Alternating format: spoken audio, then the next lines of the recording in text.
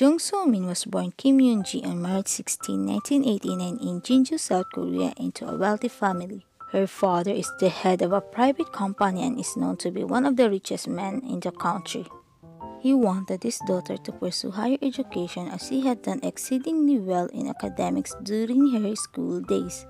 He didn't like Jung's decision when she expressed her desire to become an actress, but he later changed his mind when she received a fully funded scholarship based on only her acting skills.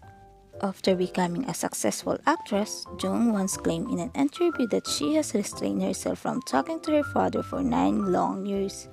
She's a big fan of Korean traditional dance. She started learning the same during high school. She was also trained in ballet when she was studying in her primary and middle school. She pursued major in arts from Korea National University of Arts in 2011. Jung made her debut in 2010 in the supporting role in the TV series Bad Guy. She received a lot of attention for her acting skills in the series. She then landed a prominent role in a romantic series titled Playful Kiss. Thanks to the overseas success of Playful Kiss, her popularity crossed borders, which gave her more opportunities to grow as an actress. In 2010, she was honored with two PAS Award at the second Korean Jewelry Awards.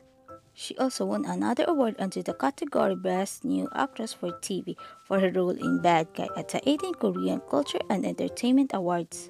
She was nominated under Best New Actress category at the 2010 MBC Drama Awards for her performance in Playful Kiss. In 2011, she won the New Star Award at the 6th Asia Model Festival Awards. In 2017, she received many nominations under several categories for her work in My Father is Strange. Jung So Min has been dating her My Father is Strange co-star Lee Joon since October 2017.